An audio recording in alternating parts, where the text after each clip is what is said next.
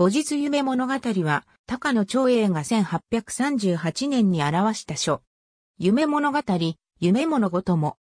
母実は表した年にちなむ。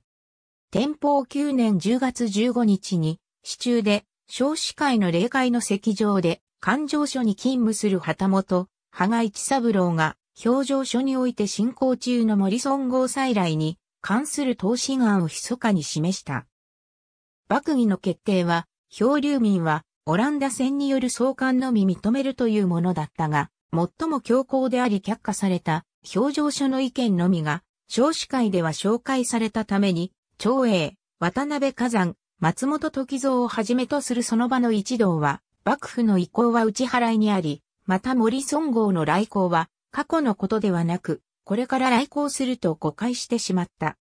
知らせを聞いてから6日後に、長英は打ち払いに遠曲に反対する書、母術夢物語を匿名で書き上げた。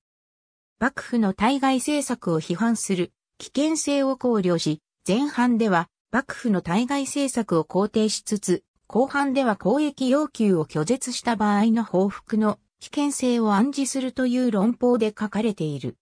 森村号を打ち払ったことがいかに無謀であるかを、夢中での知識人との討議として記し、江戸幕府の対外態度を批判した。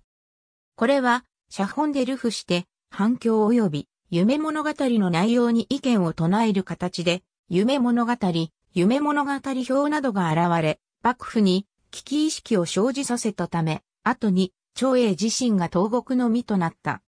なお、火山の新規論同様に、モリソンを鮮明ではなく、人名としているが、松本の上書では事実通りの鮮明となっており、長英と火山はあえて、モリソンを人命としたものと思われる。